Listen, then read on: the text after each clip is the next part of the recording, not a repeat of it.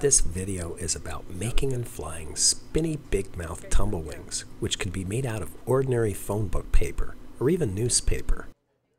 Mysteriously flying or surfing them on invisible waves of air is sometimes called walk-along gliding. Tumblewings are the best way to start air surfing. It's how I started. Mind you, that doesn't mean it's easy. You have to follow instructions, then you have to experiment. Learning how to adjust and fly will be frustrating. You won't get skilled at this in just one day, but when you get it, it'll be worth your time and trouble. We live at the bottom of an ocean of air. Normally we can't see air, but when an object moves through, the air goes up and over. By deflecting with something flat, you create a wave of relative wind that goes up and over. Just as you can surf on the leading edge of a wave of water, so too can you surf lightweight gliders on the airwave. There are other forms of air surfing, and you can use other materials like foam. Some are so efficient that you can keep them up with only your hands and lots of practice. But start with a tumblewing. It flies very slowly, so you have more time to react.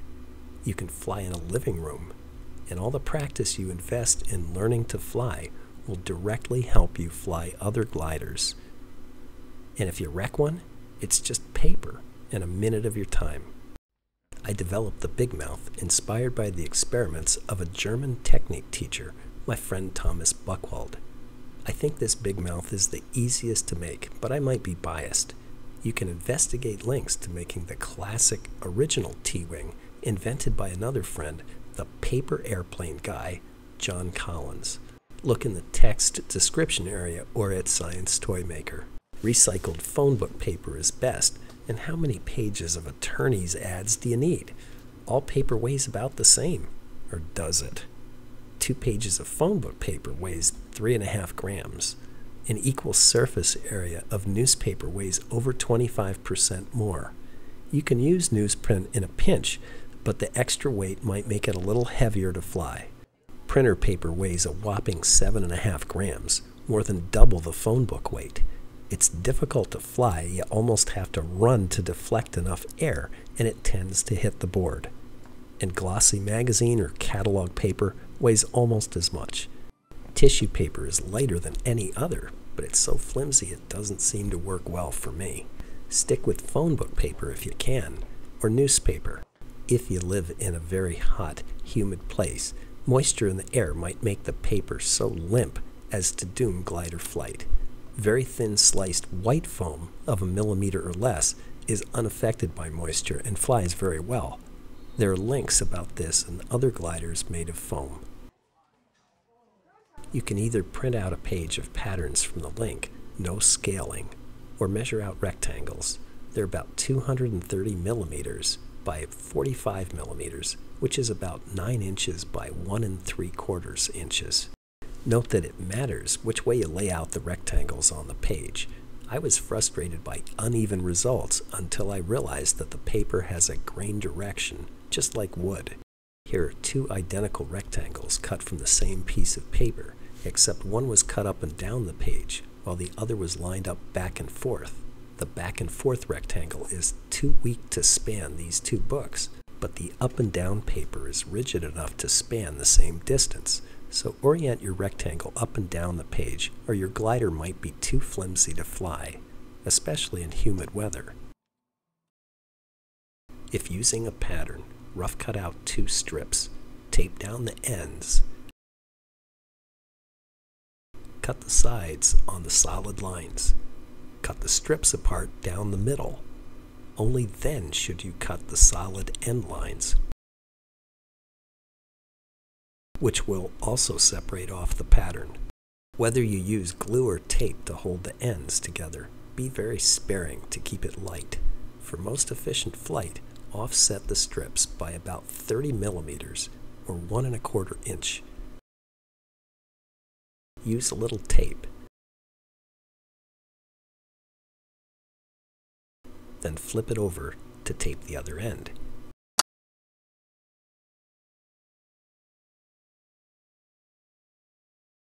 If gluing, put a little on one end, then the other, That's it, but it won't glide well until you can launch and adjust. Some people will get frustrated and quit here because we can't separate launching and adjusting. You have to learn them at the same time. You'll need to be in a room with very calm air. When the big mouth spins, the pieces should curve out a little, as much as the paper is wide, or a little more, in the middle. If it doesn't curve out enough, it's uncontrollable. The glider quickly slips to the side. This lateral instability makes it impossible to fly. At the other extreme, if it curves out too much, the glider is not efficient. It drops too quickly. It flies too close to the board and hits it, ending the flight. So if it's not spinning wide enough for stable flight, you'll have to pull it out symmetrically. You might know about curling paper or ribbon around scissors. That's too much curve. But if you can use the same idea, curving around a finger or a pen to make a gentler bend, that works for me. Unfortunately, you can't know if your spinner is going to be too skinny until you can launch it.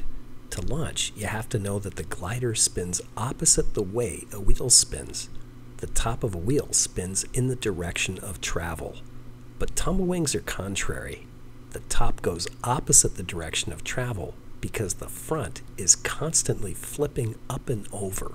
To fly, the T-wing has to be gliding away from you pinch one piece between thumb and finger like this or like this. Either jerk it a tiny bit forward and or swing the bottom forward a little. Most people start out dramatically throwing it, but it's really just a slight flick. If the glider always turns one way, you're probably unconsciously tilting it. Launch it level once you've experimented and figured out how wide it should be, and most of your launches work, you can learn how to surf them.